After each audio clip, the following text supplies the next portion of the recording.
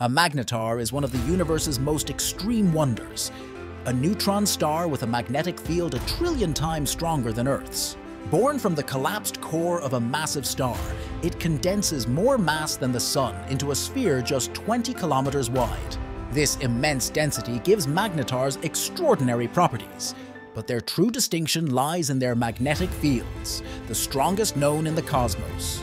These titanic fields generate intense bursts of X-rays and gamma rays, often linked to star quakes. Such quakes occur when magnetic stress fractures the star's crust, releasing colossal energy.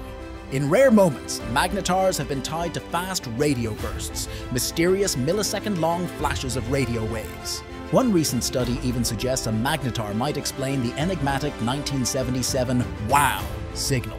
Despite their power, magnetars are fleeting, active for only about 10,000 years before their fields weaken.